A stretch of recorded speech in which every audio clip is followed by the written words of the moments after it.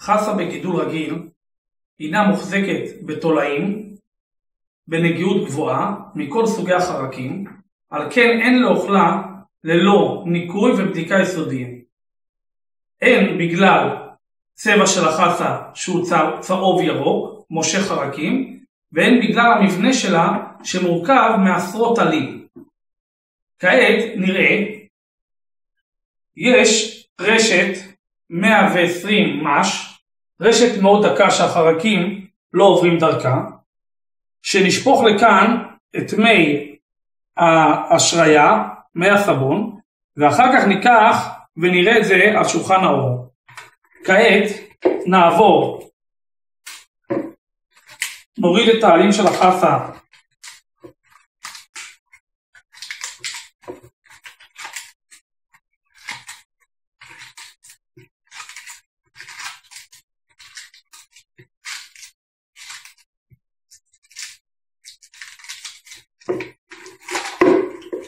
נשרה אותה בתוך סבון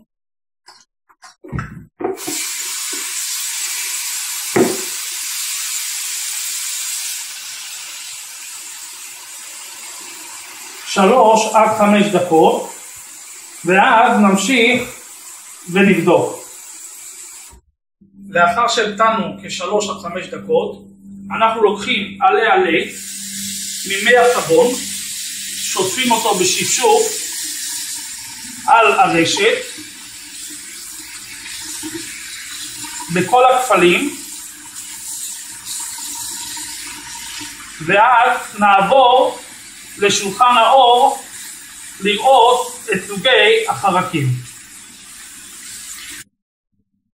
תראו את הכמות הגדולה של החרקים שחלקם לא יורדים בשטיפה קלה כמו כנימות העלה, זחלי הטריפס וכל אלו אנחנו רואים את הזחלים ישנם חרקים שלא יורדים בשטיפה כמו זבוב המנהרות שהוא מטיל זחל בתוך העלה או המנהרן שמטיל בתוך הגבעול שלעולם הם לא ירדו בשטיפה.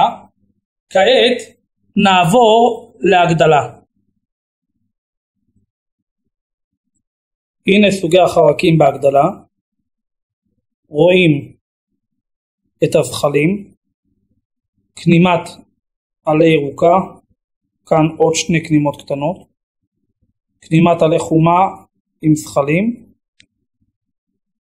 עוד ירוקה בקצה של הזחל, ופה אנחנו רואים שני זכלים של טריפס.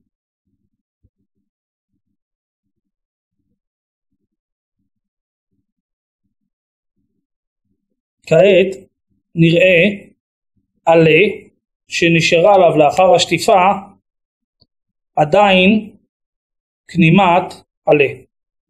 בבדיקה על שולחן האור אנחנו רואים כנימת עלה שלא ירדה, שהתחבטה בתוך הכפל ונאחזה חזק, וכן זחל קטן מאוד שנשאר עדיין דבוק לגבעול, כעת נראה את זה בהגדלה. זו כנימת העלה בהגדלה, וכבר הזחל, זה הזחל בהגדלה. חשוב לציין שבדיקה זו לא מתירה את החסה לאכילה, אלא רק רצינו להראות את הנגיעות הגבוהה בחסה בגידול רגיל, שלמרות השטיפה היסודית נשארו חרקים רבים בעלים, ועל כן משתמשים רק בחסה בגידול מיוחד.